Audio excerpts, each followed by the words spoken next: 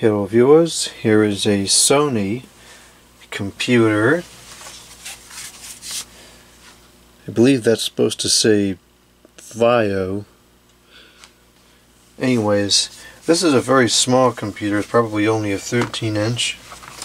The model number is SVE111B11L. This is a personal computer. Unfortunately, it's made in the China.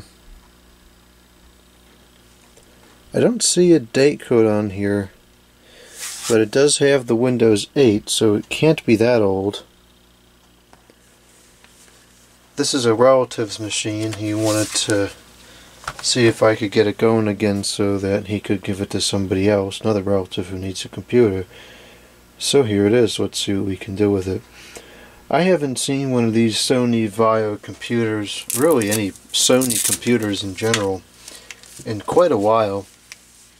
I used to see them from time to time when I first started working, but I haven't seen them in probably five years or more. Sony made really good cameras. The first digital or Digitan camera that I had was a Sony it's from 2003 and it still works to this day. So I've always liked their cameras. My video camera uh, that I'm recording this particular video with is also a Sony. Their computers, I never really felt strongly about their computers either way. They just seem kind of average to me. This one has a lot of ports on it. It's got the there's the power input, the VGA, HDMI, the fan, USB 2 and USB 3.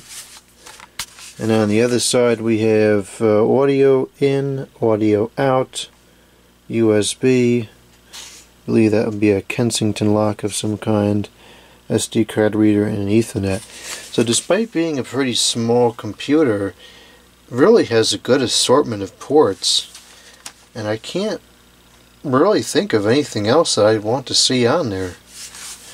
Let's take a look at the battery here, which I suspect probably doesn't work anymore as it's been sitting out of charge for a while.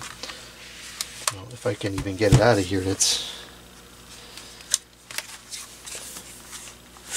this this I'm not quite sure if this is locked or if that's locked. I guess that's unlocked.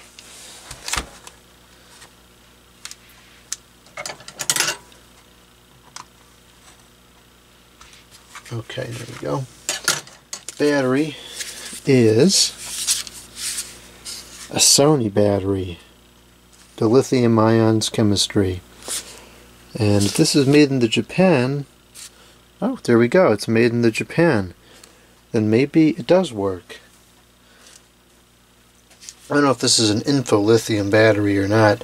The info lithium batteries that Sony made in like the early mid 2000s.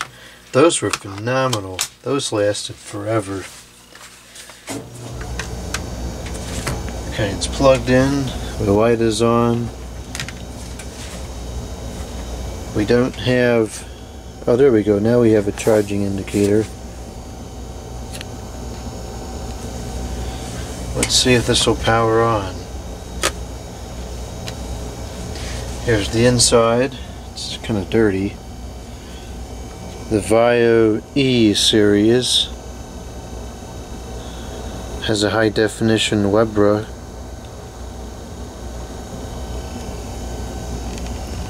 and of course it has to be the Energy Star.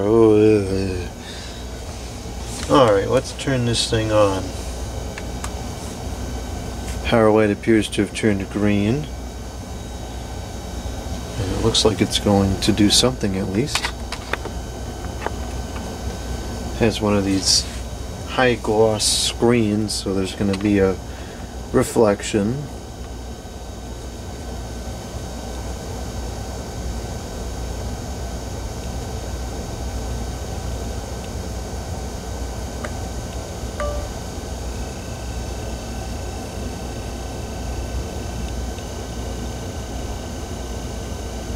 Okay, so it's set up under the user account of the individual that gave it to me. Now they said they didn't want any files that were on here and I guess it doesn't really matter because I'm not going to write to the drive at all or read what I'm getting confused uh, or distracted because it looks like it has the Windows 10 on it. Anyways, what I was trying to say before I got distracted was that it doesn't matter if there's any documents on here or not because I'm going to change out the hard drive regardless. So we're not going to write over the drive and and damage the, the contents. Now of course, as is often the case with Windows 10, the drive is just sitting at full utilization and we have to open this horrible screen by going up like that and I don't know what the password would be. It's not 1234, it's not blank, it's not 5555, so I guess that's it, unless this other account is blank. Is it 1234 on this account? No, it's not. Okay, so we can't we can't get into it anyway, so that's fine. I'm just going to shut it down then.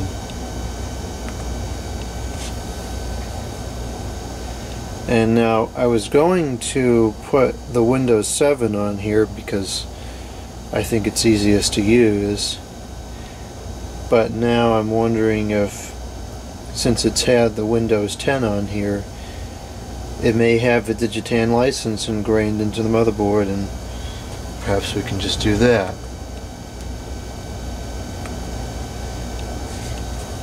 Okay, so it's off again. So now, let's see. Oh, I want to check and see if the battery holds any charge. And the power the power button is not actually turning green, it's just intrinsically green.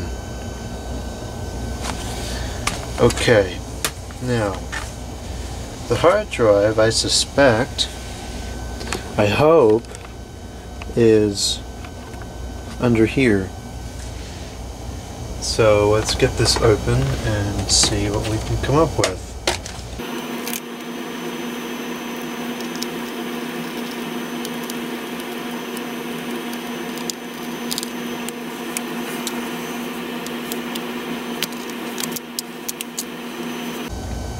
Okay, so here's the hard drive. It's a Hitachi hard drive. It is 750 gigabytes in size, but it's only the 5400 RPM style.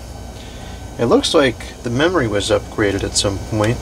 This is a 2 gigabyte stick. Let's see what size this one is.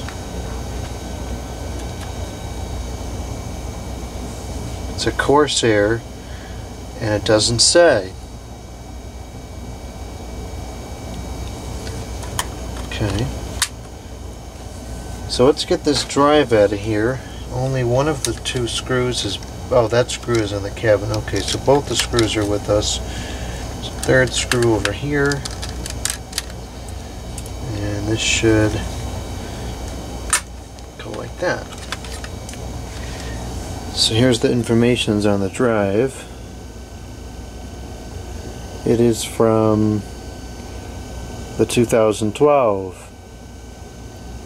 It's going on seven years old. It's not that old. So I bought a new solid state drive for it. This one is the Kingston brand, which was very highly rated, although I'm not that familiar with it. Admittedly, I thought it said Kensington, and then when it arrived, I said, oh, it's not Kensington at all. But that's fine. It seems like it's a decent product. This was only $30 and it's 240 which I don't quite understand why it's not not 256 but anyways it's 240 gigabytes and the um, cost is only like $27 so that just goes to show how how cheap storage has become even the solid state storage. I remember when these first came out they were expensive and now they're totally affordable. So let's get this drive opened and installed. Here's the drive. Very lightweight. So a metal seems to be just fine. So we have on this drive a caddy type thing, so we'll take that off and then we'll put the new drive into it.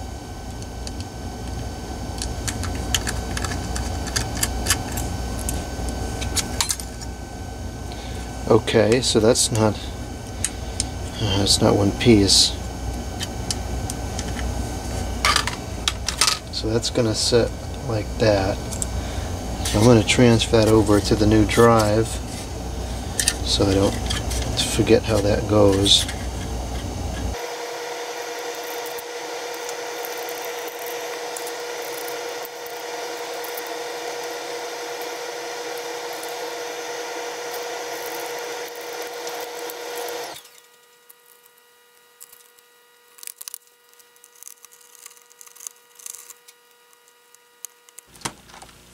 Okay, this screw is no longer going in.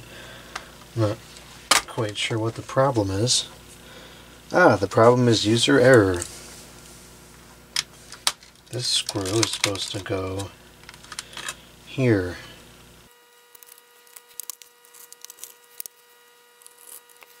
It concludes the hard drive change out. So now I'm going to go and retrieve my Windows 10 installer and see if that'll work and see if there's a license dwelling within the machine that I don't have to get another one.